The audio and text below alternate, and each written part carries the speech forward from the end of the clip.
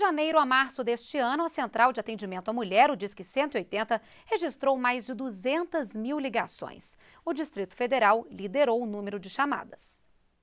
Nos três primeiros meses do ano, a Central de Atendimento à Mulher, o Ligue 180, da Secretaria de Políticas para as Mulheres da Presidência da República, registrou 201.569 atendimentos. Deste total de atendimentos, 24.775 foram denúncias de violência. E o Distrito Federal é o que mais acionou o Disque 180. São quase 304 ligações a cada 100 mil mulheres. Das quase 25 mil denúncias de violência, foram atendidos 14.296 casos. 7 mil se referem a riscos de morte das mulheres e mais de 6 mil denúncias de espancamentos. Dos cinco tipos de violências enquadradas pela Lei Maria da Penha, a física, sexual, psicológica, moral e patrimonial, a física é a mais frequente. Nela estão classificadas agressões que vão desde a lesão corporal leve ao assassinato. E o agressor continua sendo o companheiro ou o marido da vítima.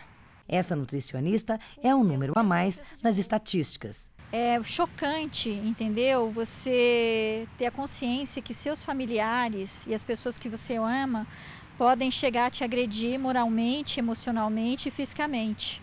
Então, até que você tenha consciência disso, você não quer fazer nada.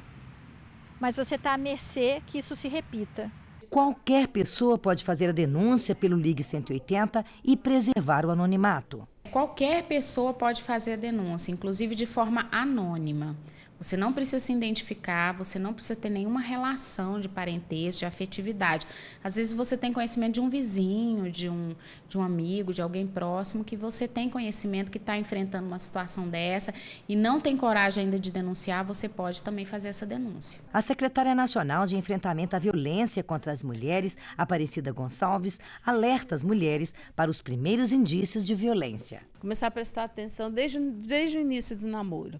É, se por um acaso esse agressor, essa pessoa, o namorado, começa a mandar mudar roupa, que a roupa está curta, a roupa está decotada, não gosta de tal amiga, não gosta de tal, começa a diminuir o ciclo de convivência, já é um, um grande sinal de que ele é agressor.